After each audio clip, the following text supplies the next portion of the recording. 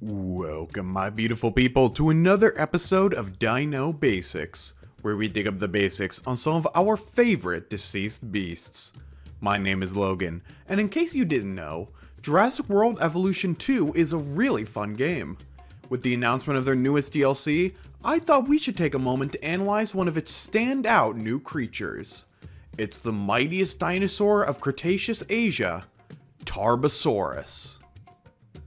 Tarbosaurus was first discovered in 1946 in the modern day country of Mongolia, specifically an area of the Gobi Desert named the Ömnögovi province.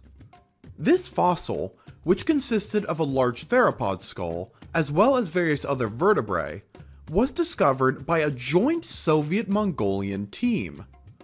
Important to note was that 1946 was the dawn of the Cold War and the Soviet Union, now an array of countries like Kazakhstan and Russia, just to name a few, was still a thrive. Uh, um, uh, the Soviet Union still existed. About 10 years later, in 1955, Soviet paleontologist Yevgeny Maleev would describe this fossil not as a Tarbosaurus, but instead a species of the existing North American genus Tyrannosaurus, specifically as the name Tyrannosaurus bataar. This same year, Maleev would describe three additional theropod skulls based on their varying size from Bataar. Two of these skulls would describe two new species of a different North American genus, this time the Gorgosaurus, as the names Gorgosaurus lancinator and Gorgosaurus novojilovi. The third skull, which was technically the first of all three, would describe a completely new genus and species of dinosaur, named the Tarbosaurus efremovi. Another 10 years later, in 1965, paleontologist Anatoly Konstantinovich Rozhdestvensky would conclude that Maleev was describing one genus and species of dinosaur, simply at different growth stages in its life. Rozhdestvensky would propose consolidating all these specimens into a singular new genus and species, taking the new genus name Tarbosaurus and combining it with the original species name for Tyrannosaurus, Bataar, creating the new name Tarbosaurus bataar. Over the next 70 years, classification of Tarbosaurus has varied wildly. To save you the headache, today there are basically two different ways to recognize Tarbosaurus, which often varies researcher to researcher. One is the recognition of the single Tarbosaurus species, Tarbosaurus bataar, and the other being Maleev's belief of Tarbosaurus being a species of Tyrannosaurus. This was popularized by American paleontologist Ken Carpenter, who argued, based on their similar size and bone structure, Tarbosaurus was simply an Asian variant of the North American Tyrannosaurus rex. Carpenter did note the heavier build of Tyrannosaurus rex, as well as their vastly different environments. However, he only saw this as justification for a new species rather than an entire new genus it's difficult to definitively disprove one or the other, as both largely come to the same conclusion that Tarbosaurus was a close relative of Tyrannosaurus, which is widely accepted. The discovery of an older Tyrannosaur, Alioramus, could add greater validity to the Tarbosaurus theory, as Alioramus could prove to be Tarbosaurus's closest relative rather than T. rex, thus proving two distinct genus. But this is still inconclusive. As of now, you couldn't really be blamed for either naming. For the sake of the rest of this video, we'll simply call it Tarbosaurus to cut down on confusion between the two genus. Since the discovery of the original four fossils, 26 additional specimens of Tarbosaurus have been discovered, mostly found in Mongolia as well as northern regions of China. Interestingly, almost all specimens are still located in Mongolia.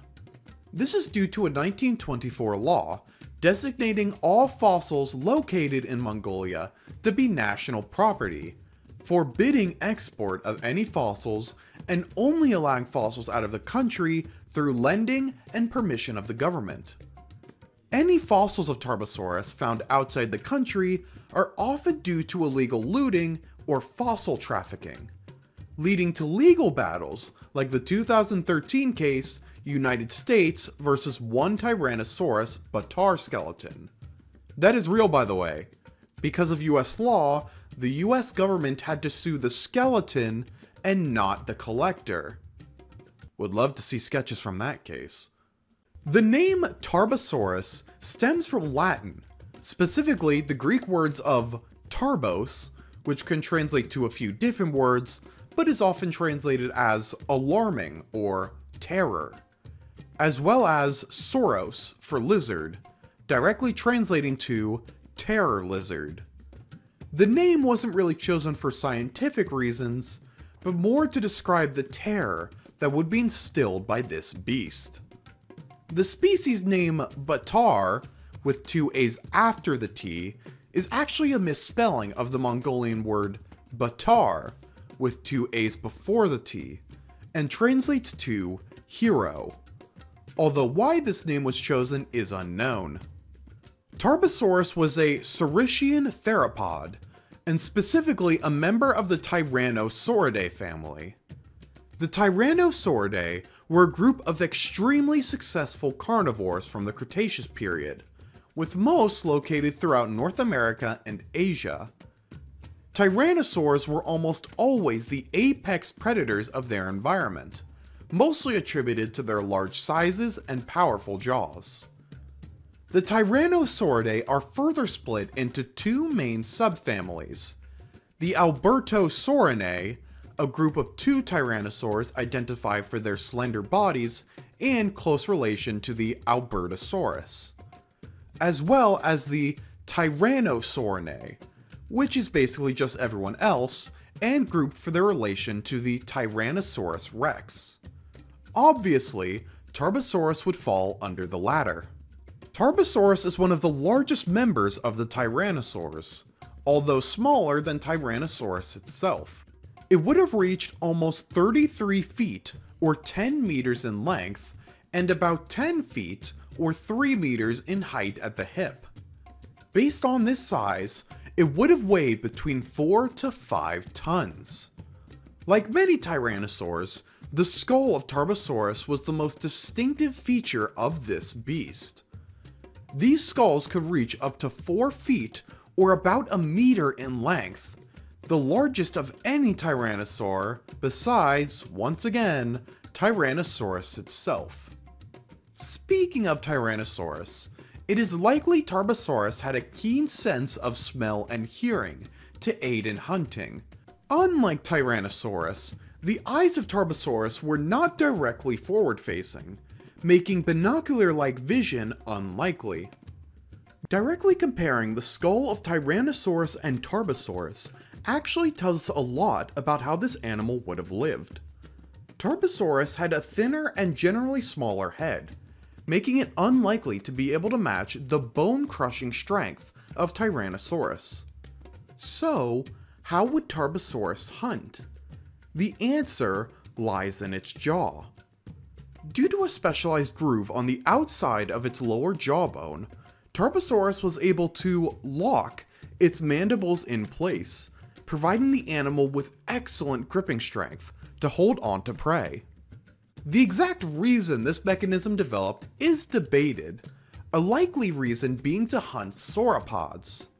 The average tyrannosaur would struggle to grip onto the massive bodies of many sauropods, but a locking mechanism in the jaws could make grabbing onto these creatures much easier, giving the animal more time to tear into its prey.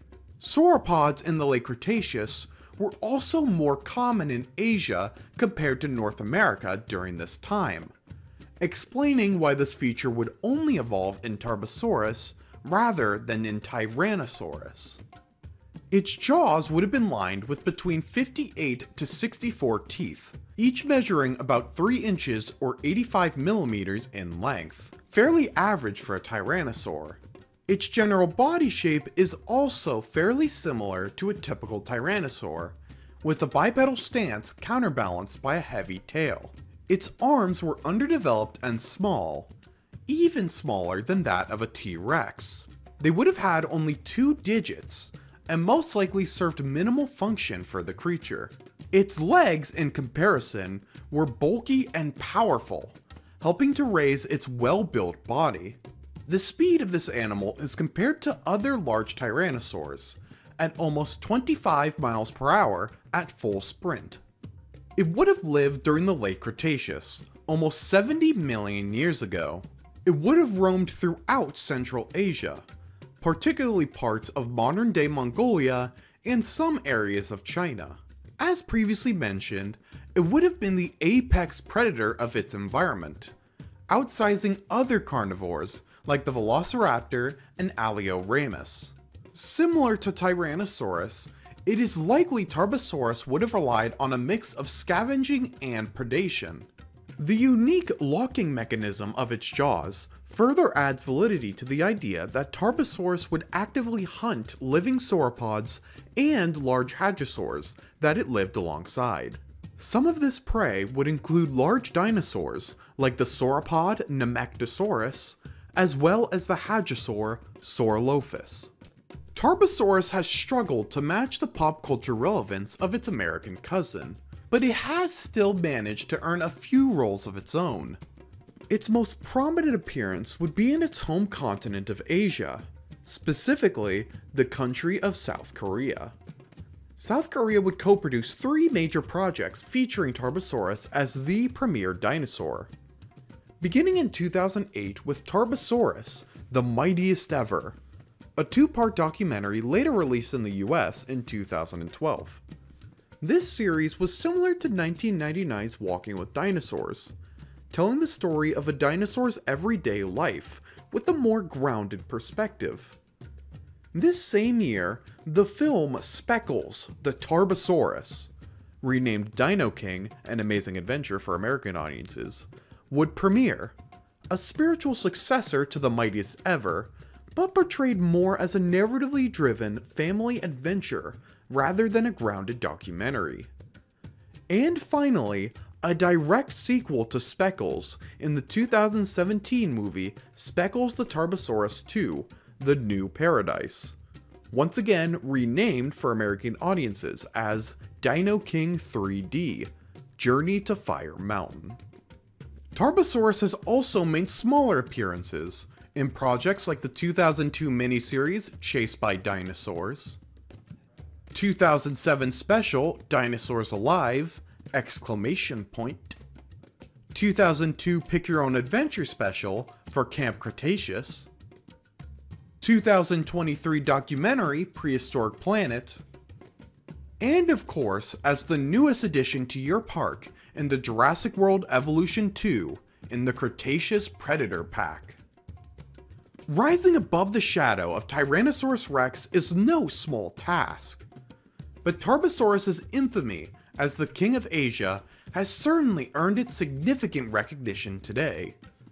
With a bite to challenge the king itself, and a ferocity to match, this monster could certainly tar T-Rex a new one. Maybe. Well, probably not that's gonna do it for this episode. Thank you so much for watching, and I hope you enjoyed. Be sure to leave a comment below what you think of Tarbosaurus, and if you've heard of this dinosaur before the video. I would love to cover some of the other carnivores they chose for this DLC pack. A really interesting selection of dinosaurs this time around. But we're back to viewer suggested dinosaurs next week, when we look into the basics on the Bowl of Dinosaurs, Torosaurus. Thank you for your support, and see you in the next video.